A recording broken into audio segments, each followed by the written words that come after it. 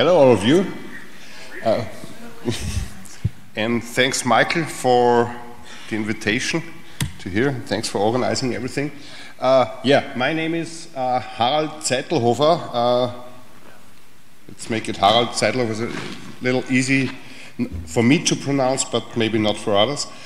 Uh, yeah, I've my background is actually I've been working uh, on databases and PHP projects for quite a while now. So I started with uh, as a database consultant in the mid 90s, and I've been working with PHP since 99, so also quite a while.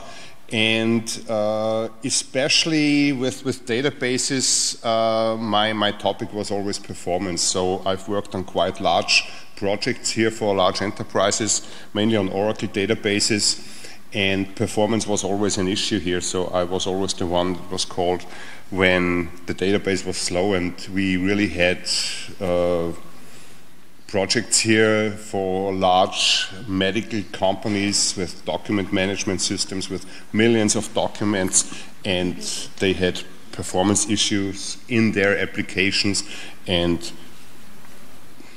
at least the first impression was always that the database is slow, but uh, the more I worked with these projects, the more I saw that it's not always the database. Most time, the problems are originated in the application itself. And that's what I want to talk about today. So we could fill a lot of talks with uh, performance tuning for databases uh, today I'd like to focus on what we can do from the database and why it's not always the database itself that is slow, but we can do a lot directly uh, in the application.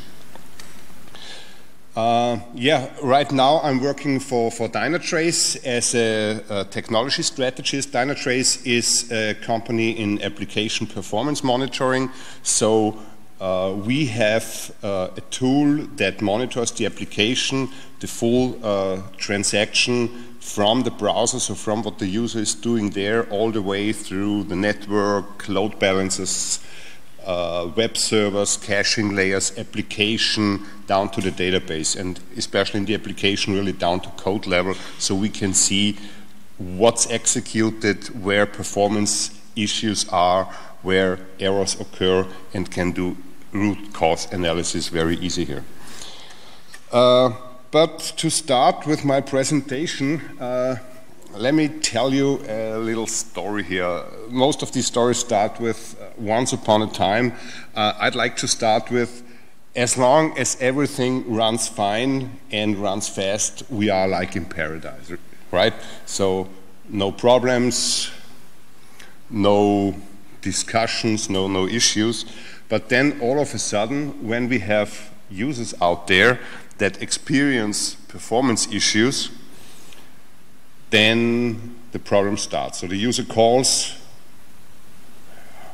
the application is slow, what's going on here, I can't work anymore.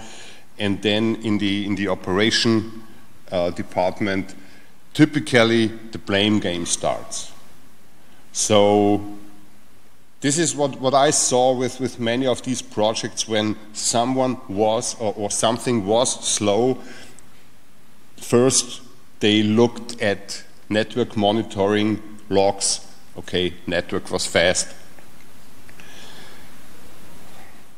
Different peoples got involved, and a lot of times uh, it goes to the development team then because when the infrastructure is running fine, servers are running uh, memory is available in, uh, yeah, just enough. Uh, CPU is fine. Then it goes to development. And we, already, we also had such an example in-house where we had to create, or, or the, the developers had to create a report for um, meeting rooms. So a, a, reservation report for meeting rooms, and that report was just slow. So it got back to development. What development did here is they added a simple logging logic. Just they captured the timestamp before they accessed the data and the timestamp after they accessed the data, before they created the report, and then they found out, okay, that took 45 seconds. And it was easy. Not my fault. So it has to be someone else or something else. And if we look at the code here and we see, okay, it's load data for room, it's probably loading data from the database. Okay, so it's the database's fault. And it went all the way to the DBAs. Well, the DBAs had their own tools to check the performance here. And they looked at slow queries in the database. And they found out that all of the queries that were executed there were actually faster than one millisecond. So it was easy, not my fault. So whose fault was it then? And then the blame game started. So what, what happened actually? The problem was we executed for that request, we executed 25,000 database statements. And the, the 40 seconds that were really spent in the database, for these 25,000 seconds, we have, yeah, each web request is, is faster than, or in average, 1.5 milliseconds. So the database is not really slow here. And this is what we see a lot of times. So the database performance hotspots or performance hotspots where we see that in the application most time is spent in the database has several reasons. On the one hand, and this is, in my opinion, the most important. It's the application design. And then database queries, how they are executed and how they are designed. And for sure also the infrastructure of the database server and for sure the network with connections. But to bring that into a pie chart, most of the time is really caused by the application. So that means most of the performance issues of the database can be fixed in the, in the application. We don't need to bother the DBAs here. In detail, and this is uh, a feedback that we get from a lot of developers out there, it's slow database queries. And slow database queries is not necessarily because of missing indexes or whatever. It's really the design of the query itself inefficient application code, and too many database queries. So too many database queries, the example that we had before, and that's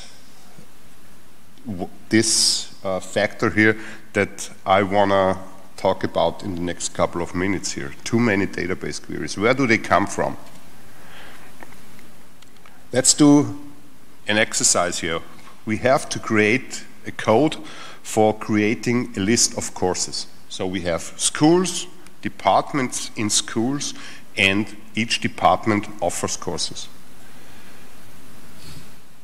When we consider the database now just as a data storage and we have existing access code for the database and we can just focus on creating the code here to uh, create the results that we want, and this is actually a situation that we see a lot of times when we are using uh, ORM layers, so object relational mappers, access libraries for databases like Doctrine for PHP or for Java, Hibernate. So Doctrine is actually based on this Hibernate uh, approach. So access to the database is coded there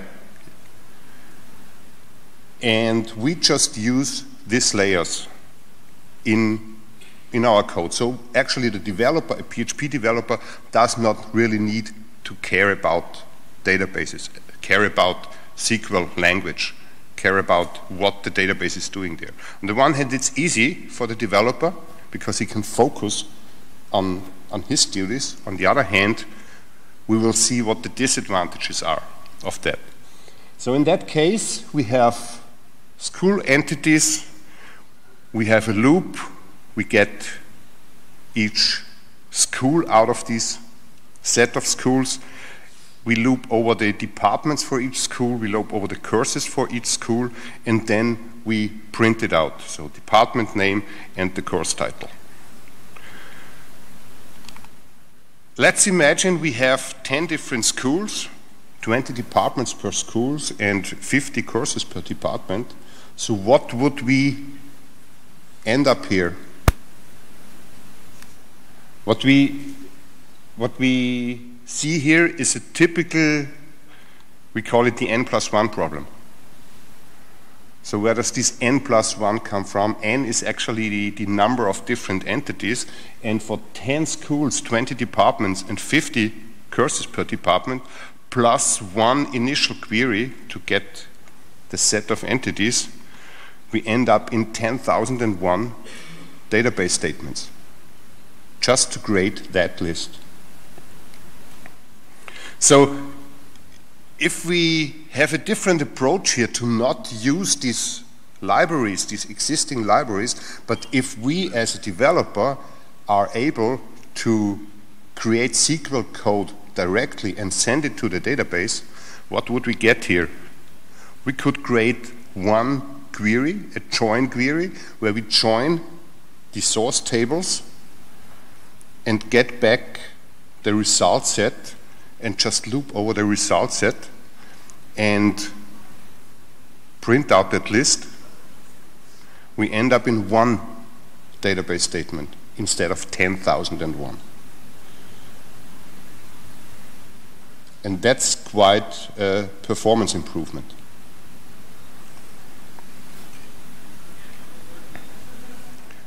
The only thing we have to consider here is that as a developer, coding, uh, developing PHP code, we are no longer just focusing on, on PHP here, but we also consider SQL because we consider the database not only as a data storage, but as a powerful engine, not only for storing data, but also for getting data back.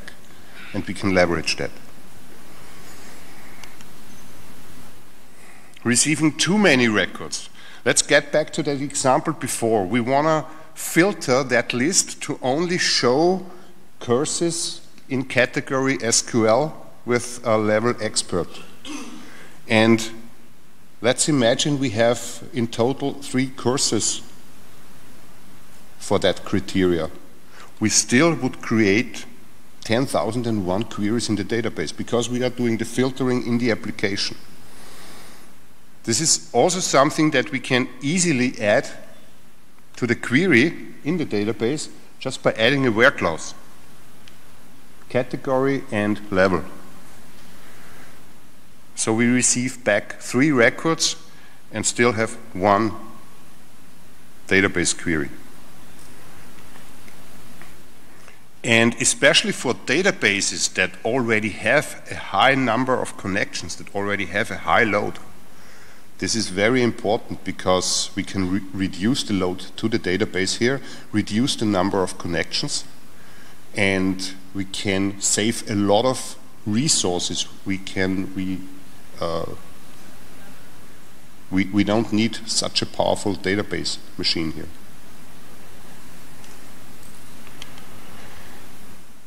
Caching.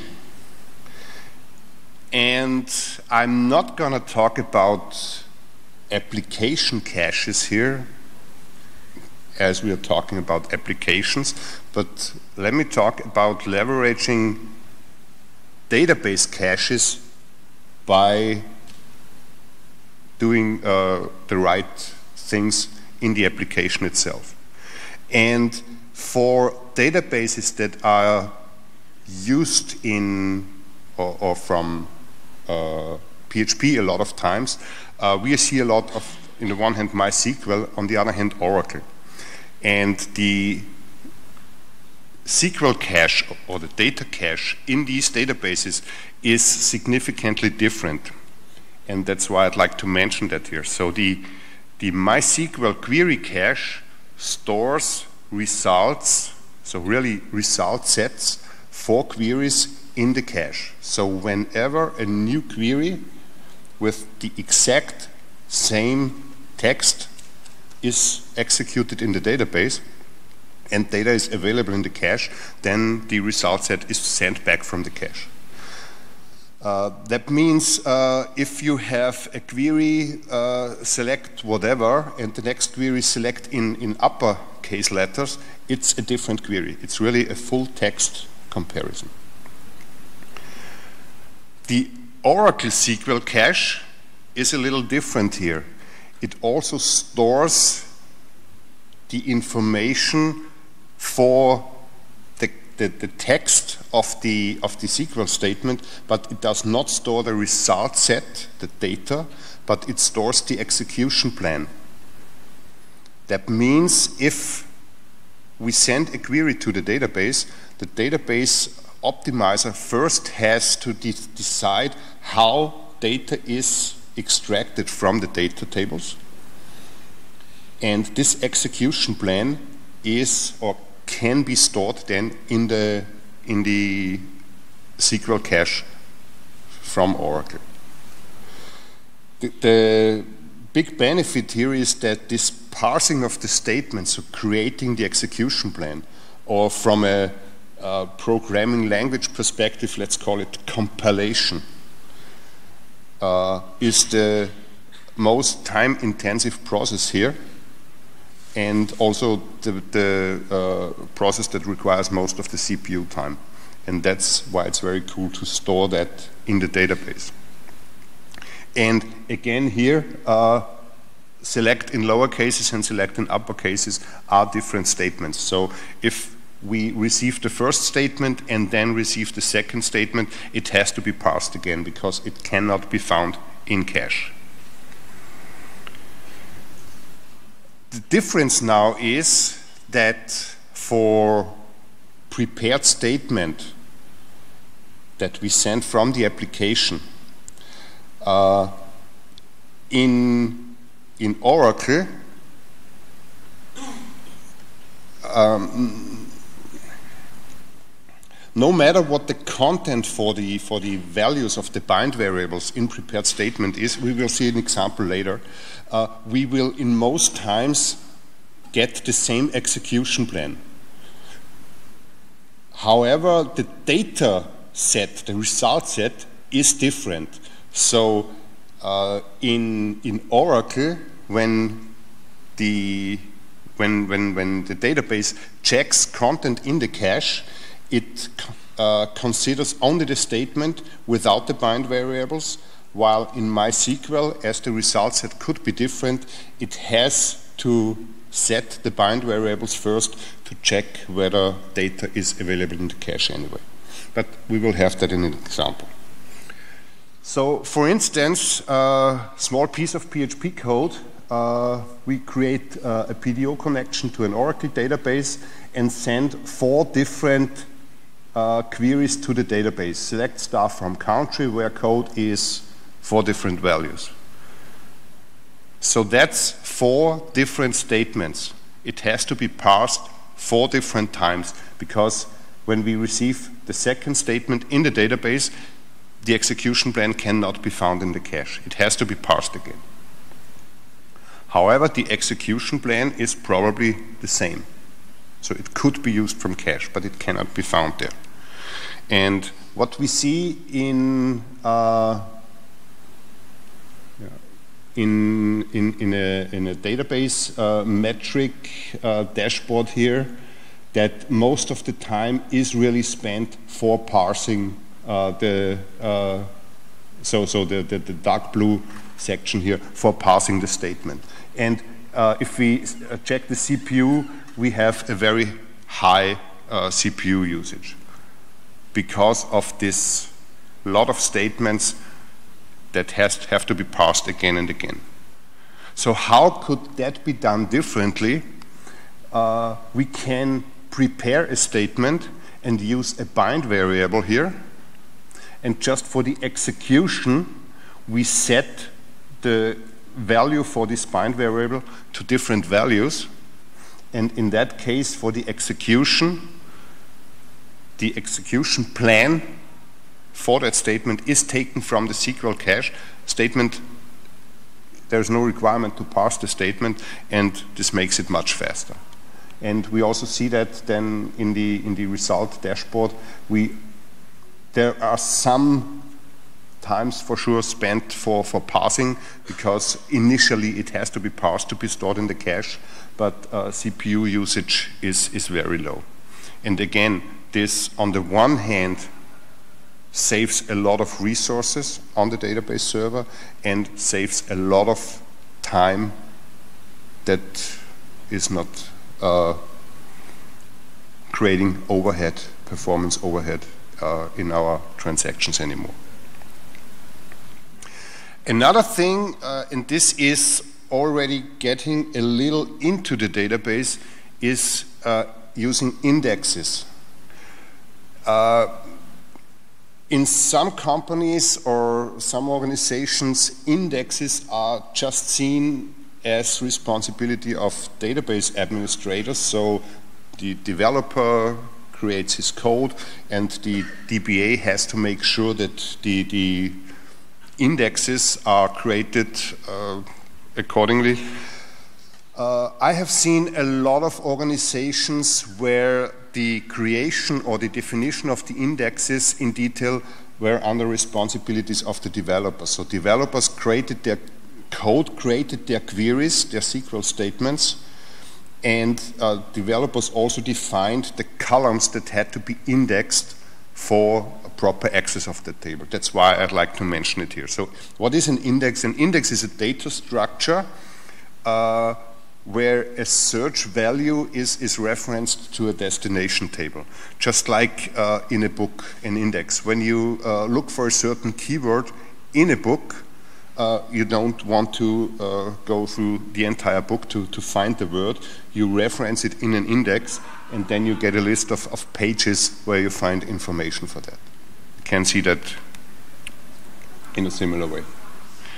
So an index is used uh, in, a, in a SQL statement when we have a where clause, for instance, like we had before, where we filtered the result set to SQL courses with level expert. We had this where clause, and then such an index is used or can be used.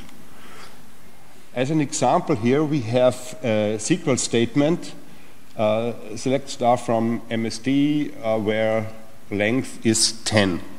So what happens here when we look at the execution plan, and in MySQL this is easy just by using explain, then in that case we see that no index is used. It tells us no possible keys, and the result set is seven, uh, uh, Uh, uh, yeah, 70 something thousand rows.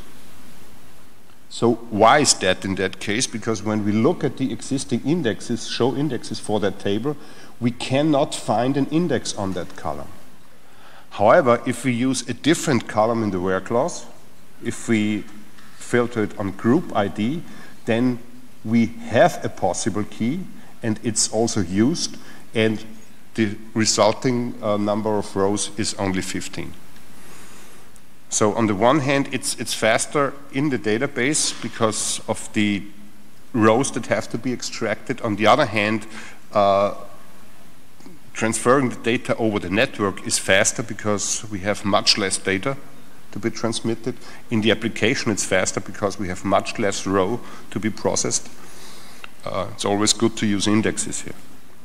But indexes are not only used uh, for, for where clauses, indexes are also used when tables are joined, for instance, like we had uh, the example before where we joined the schools with the departments and the, the courses. Uh, if we are not using indexes there, then we would again have these 10,000 rows. But uh, when we, or actually we still have the 10,000 rows, but we need to do a full table scan on each table and then uh, match the, the uh, criteria defined in the join.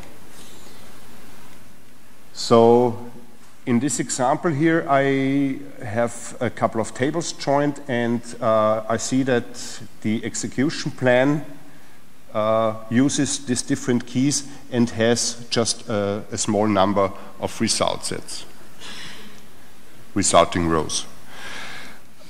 We have to be a little careful here because uh, in, in SQL statements there are so-called index killers.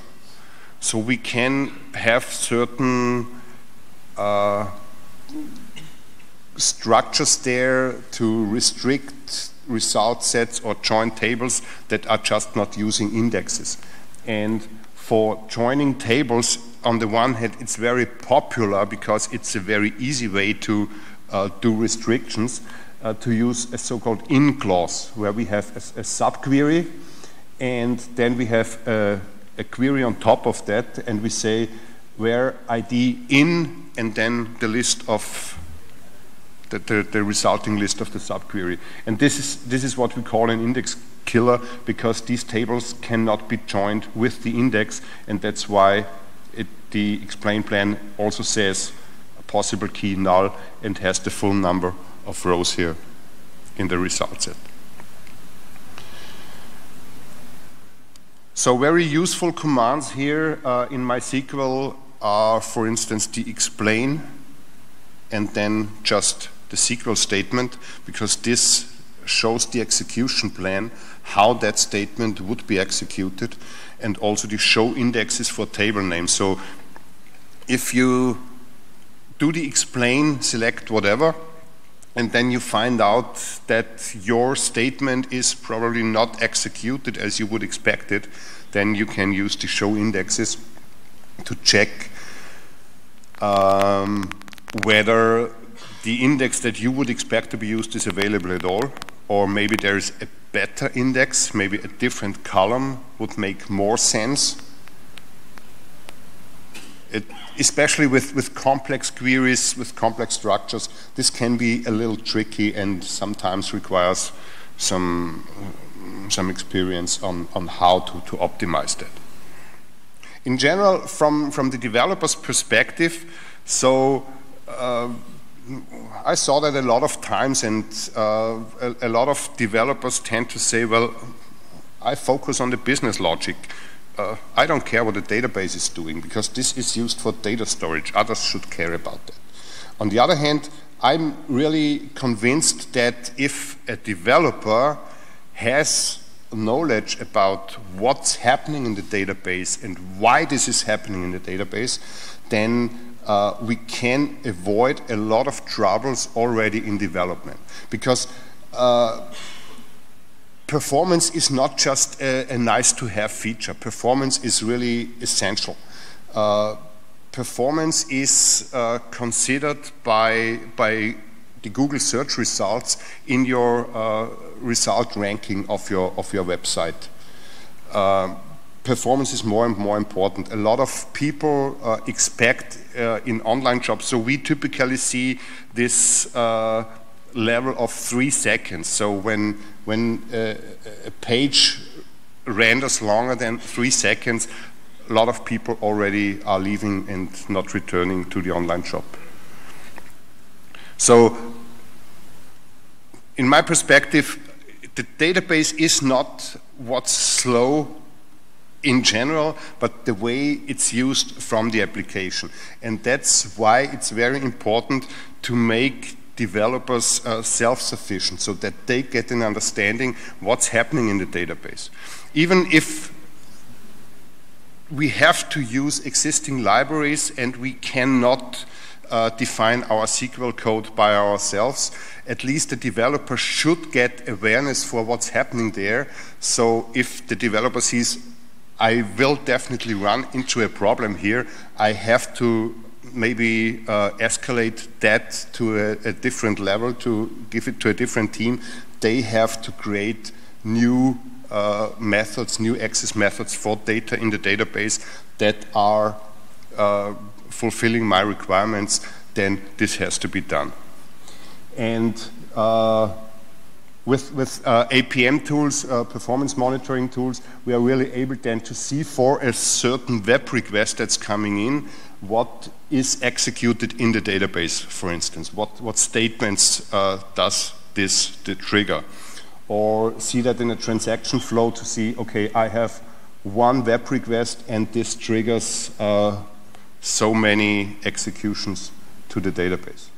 However, this too many database statements is actually also uh, the same for external web services. So database could be fast, but when we call the database thousands of times, the web request will be slow. The same is for web services. If we have a web service, an external one, and that's fast, but we call it a lot of times, then our entire transaction will be slow.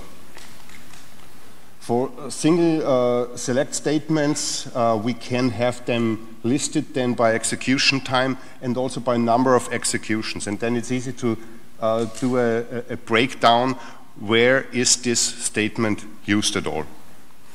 Or the other way around to drill down to the database, as I mentioned before, from, from the application, even if the developer does not have access to the database itself, uh, the developer can see the execution plan and can see how this statement is executed and maybe raise, I need an index here or uh, my table structure or my, my, my view that I'm using in the table. So I can not only use tables, but predefined queries that are stored in the database, we call that views, uh, are executed and the developer so, so the view is on the one hand completely transparent. Uh, it can be used as a table, but when we see from our development team already that there is a view in the background and the query, the joins to that view is slow and missing indexes and maybe called 500 times, then we can raise that problem from here because the faster, the sooner we find problems, the cheaper it is to fix these problems. The longer we wait, maybe until production, the more expensive it gets. So, what are the key takeaways that I'd like to give you is much time spent in the database does not necessarily mean that the database is slow. Performance hotspots typically that we see are too many SQL statements, missing caching, not missing caching because the cache is not available, but missing caching because we are not using bind variables. The bad query design for uh, prepared views, for instance, so inefficient joins, uh, index misusage or not used at all, or wrong indexes. It's also not good just to index every column for sure, to, to extract data, it would be very fast. But once we are doing updates to a table, then the database does not only need to update the table, but it does need to update every single index here. So the more indexes I get, the faster my select might be, but the slower the updates will be. We have to find the right balance here. Or undersized database servers. But for sure, if we follow other best practices, we don't need that many resources on the server for that.